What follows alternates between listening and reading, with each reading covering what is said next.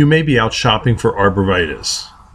One of the most popular arborvitae is the green giant arborvitae. It grows really fast and really tall. It's used for screening, hedges, and privacy. It can grow quite rapidly. But what does the new growth on the arborvitae look like?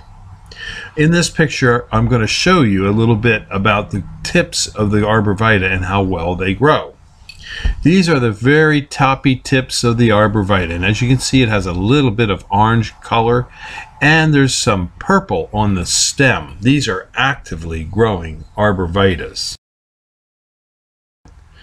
These are recently planted green giant arborvitaes in a field. This is an excellent location for green giants. It has good slope and drainage. It's not a wetland. It is open with clear sun all day long. This is a location where we grow arborvitaes in Fountainville, PA, and we find that they're easy to grow.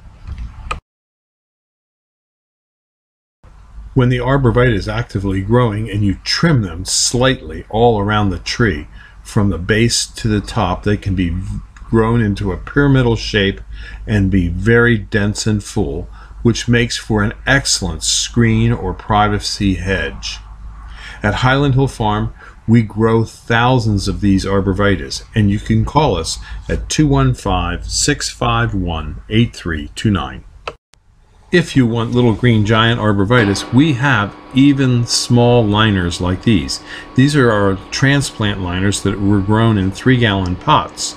We sh shook off some of the dirt, but we can plant these quickly in our tree planter, and we can plant upwards to 3,000 a day.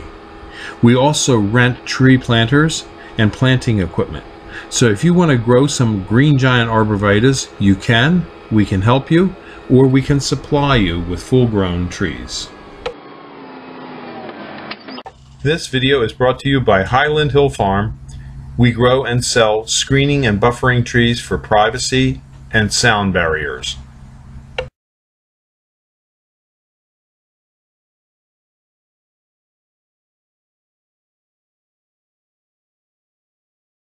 This video is brought to you by Highland Hill Farm. We grow and sell screening and buffering trees for privacy and sound barriers.